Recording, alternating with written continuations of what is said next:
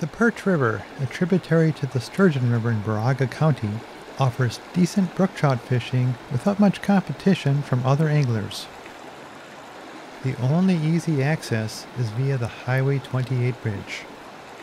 There is a parking and picnic area on the northeast side of this bridge with public access to the stream. Upstream of the 28 bridge are Forest Roads 2400 and 358, which can offer miles of seldom fished water if you don't mind walking a mile or two through the woods to reach the stream. Get me a fish.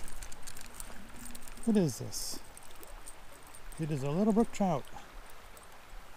On spinner. Wading the stream is usually easy, but not on this day, as the water was a bit high. For the short time I fished here, I had numerous hits and follows from brook trout up to 12 inches long. I stopped fishing when I noticed the water had risen to 70 degrees, as that temperature can be lethal to a brook trout if it is caught. In summary, the Perch River is a good, seldom fished stream. Just try not to fish it on a hot day.